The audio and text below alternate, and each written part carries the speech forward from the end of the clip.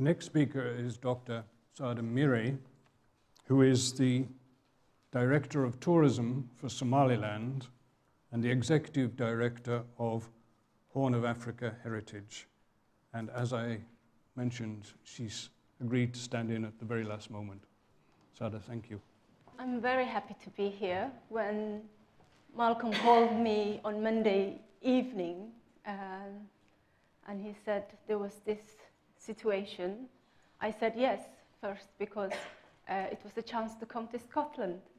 I have, I've always wanted to come to Scotland, and uh, um, yes, thank you. I'm glad to be here. This is a short presentation that I put together for um, for the last few days, and um, as Malcolm mentioned, I work with Somaliland Ministry of uh, Tourism and Culture.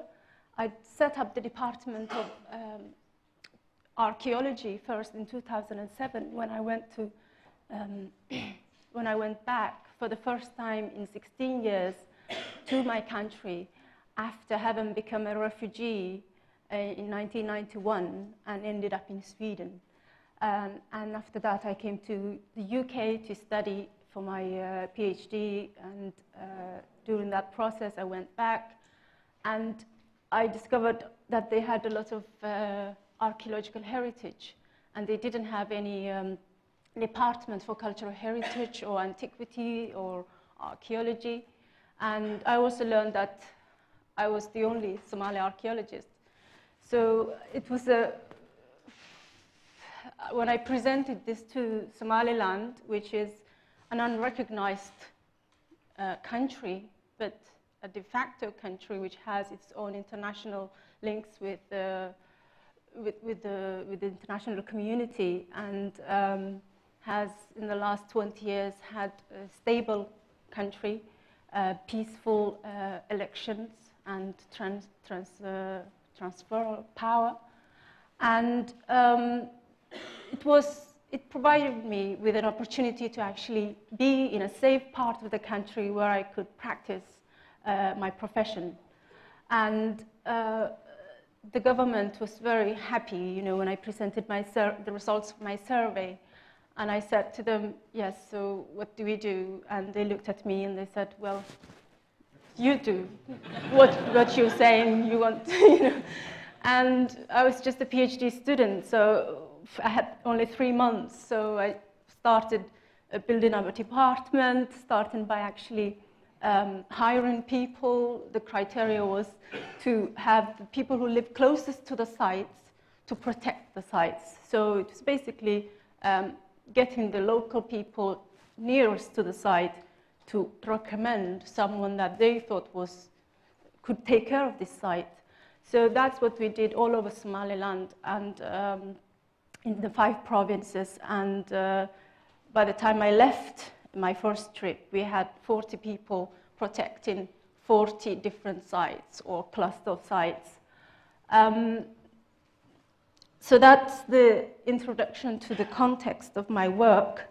Um, people don't usually uh, know where Somaliland is. Somaliland is on the, um, on the Red Sea coast um, Somalia uh, and Somaliland are located in a strategic area, which in the, in the past was a very important trade route, um, actual uh, cultural crossroads. Um, in the archaeology, we can see uh, links with, um, or trade, evidence of trade with ancient Egypt, um, civilizations in Persia, China, uh, hinterland Africa, in Ethiopia, and uh, uh, the Swahili culture. We also have, um, as a result of these uh, long distance trade networks, um, communities on the coast and a multicultural society. And in the Horn of Africa, it's often called the cradle of humanity, and we have very long um, history in the sense of from you know, the studies of human evolution to the present history of um, the, the, war and the, uh, the, the, heritage of conflict. Um, but starting to, to work in this context, there were lots of challenges, as I said. For, to begin with, the country doesn't even exist. Um, um, it's not recognized, and um, there are other priorities health, food security, infrastructure, and cultural heritage uh, and archaeology are not immediately available or um, um, prominent in any way. But uh, there was a goodwill, and as I said, the government gave me a free hand to, to do what I could do. And um, the problem then is the issues of, for example, when you want to build up a national heritage law and make use of international heritage law. And in Somaliland, we are in the situation very similar to what uh, Joanne said earlier in relation to the uh, ICH. Um, here we have Somalia, which never ratified the World Heritage Convention. And uh, Somaliland cannot do that because it's not, it's not uh, recognized. So this poses a problem. Um, but another interesting element to our culture is our important intangible heritage. Often, and until recently, we have only preserved our intangible heritage because this is something very important to us in terms of, um, in terms of uh, um, survival, in terms of living our daily life, in terms of uh, social and cultural interaction with the landscape um, and with each other. For us, oral history and oral transmission of skills have been paramount to our existence. Um, we have the poets in our culture have had the role of being the archives because they would keep, they will re, um, learn all the poems accurately and actually they would be also at the same time opinion makers. So they would be coming to a village or a nomadic camp and they will collect all the poems that are supposed to be passed on to the big clan meeting to represent remote communities. So the communities would be, instead of writing a letter to their leaders, they would be composing a poem that would be recited by this professional poet would then represent at the meeting. So they would be then represented. And this is uh, just one way of how people have um, um, have this rich culture that is uh, very democratic and very uh, inclusive. Um, this is anthropologists who've studied this have called it pastoral democracy. Uh, Ioan Lewis is uh, actually one of the people who suggested this. Um, uh, he's, uh, you know, one of the founders of Somali anthropology. And um, another thing is when I went back, before, actually before I went back, when I, when I was studying archaeology, people said to me, you're a refugee, what do you do in studying archaeology? And I was living in Sweden studying uh, Scandinavian prehistory. And, um, and I really wanted to know what, what was my own past. And then I came to uh, London to study African archaeology, SOAS. And my BA dissertation was, what is heritage to Somali people?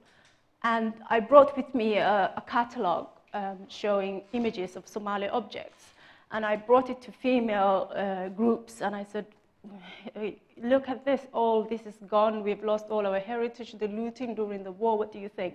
Well, is this important to you? This heritage is gone. And they were completely indifferent. Um, and I was hoping that sense of loss, you know, to, to feel something. And when I started actually asking them, uh, what is your heritage? Um, they started talking about the landscapes, uh, where they grew up, the things that they learned from their parents, um, their relationship with objects, their skills, and they actually looked again at the same document with the images of the objects, and they started talking about the objects in a completely different way, saying, I know how to make this, you can get the best raw material from that area, you use it at this time for that ritual, for this. So they were completely, ah. Okay.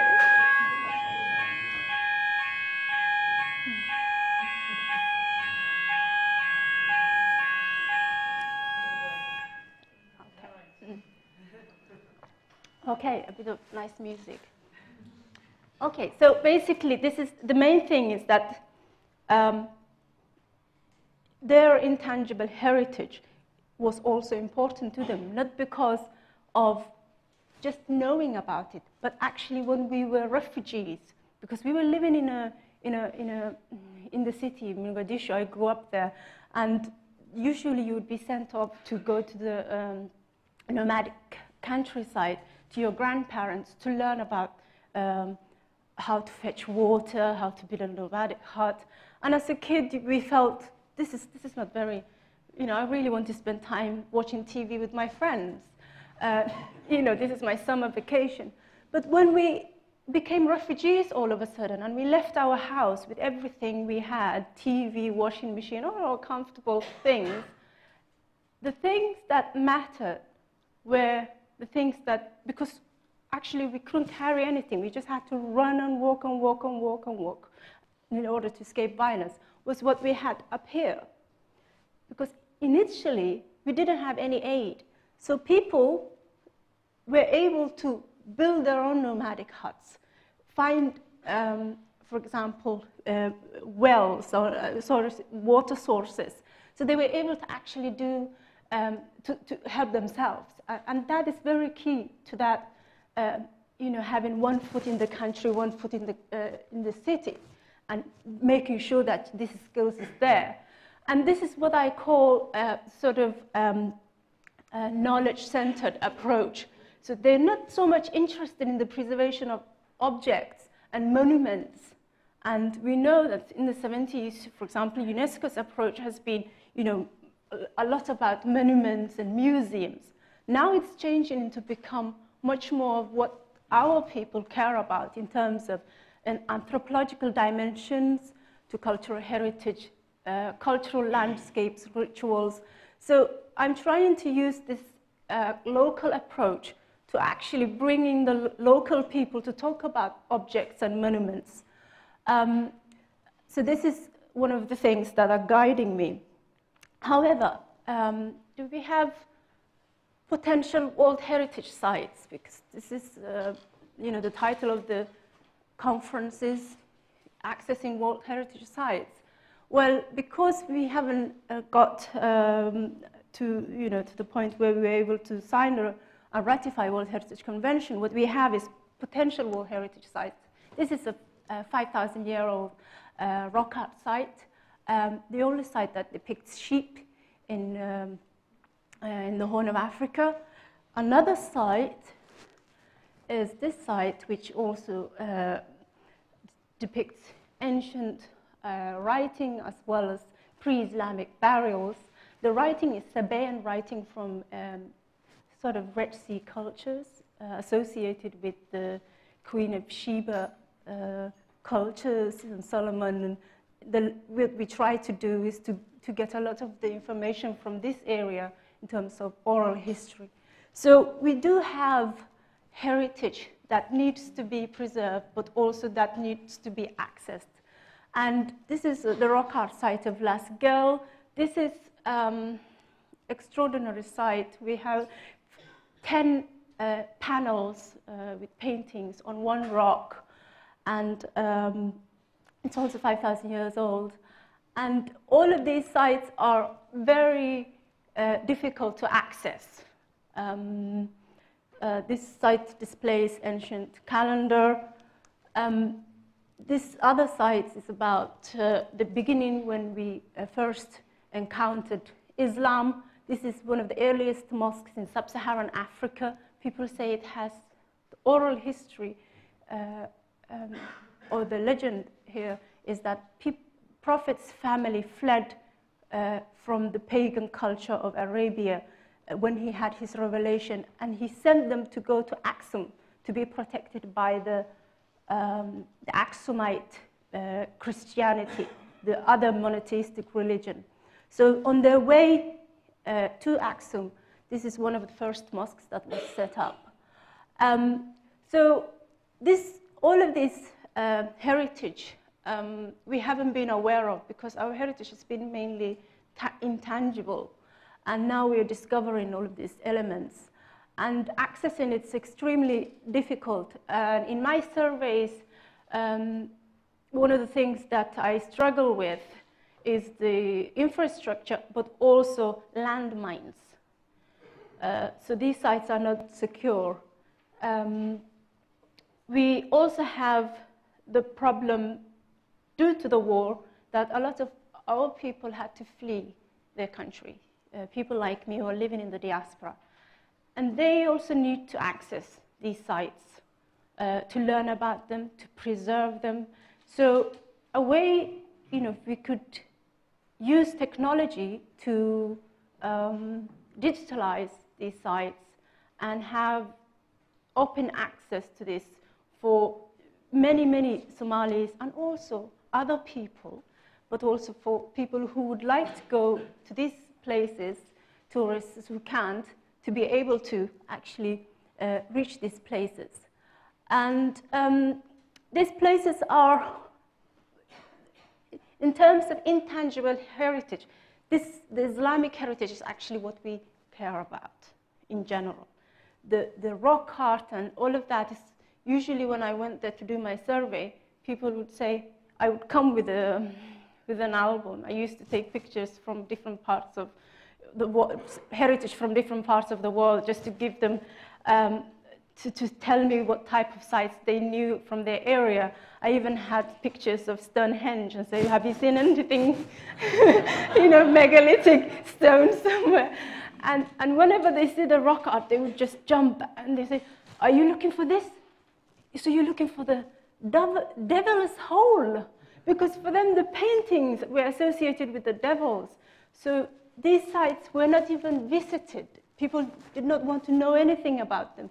They had all of these ideas about this, you know, if you, if you walk with your cattle, um, you should be walking from that side of the mountain, and if the, the cattle are pregnant, they will never bear offspring. So it was a whole different interaction with the landscape based on their beliefs. Um, so that's one element. But also now we have, you know, this is the main heritage people have cared about, the, the links with Islam, because that's the, his, the, the, history that they know. And also you have the general destruction of the sites. Uh, here, this is a rock art site. People are very poor. They don't understand what rock art is. Here I came, someone was actually bulldozing this site. Um, it's um, petroglyph, 5,000 year old site. It's one of our potential World Heritage sites. Actually, as I was driving in, they, what they, these are poor people, and what they want to do is to take these stones, chop them into pieces, sell it to developers. They don't know what the rock art is. I have seen people build toilets with the most amazing rock art pieces. They don't know what it is. It's just a stone, and they're using it. So I think using technology could be a way of uh, um, making, making use of this, um, this heritage, this knowledge that exists, to bring it to a wider audience, to help them.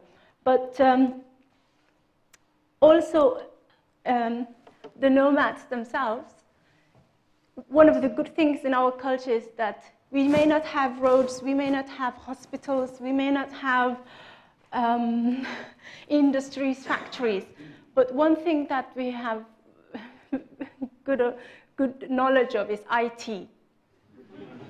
And this, I think, is very much linked to our oral culture. We, we only, we, we have selective approach to technology. We take things that fit with our, you know, easy, if, you know, if you want to speak to someone, you, you, know, you call. Then you prioritize a phone. Uh, because that makes it easier for you to not, you have to walk three uh, kilometers to, to visit someone. But also, this is one of my volunteers, and he's the camel herder. And he's got a smartphone, and he uses it to check how, you know, the, the livestock prices.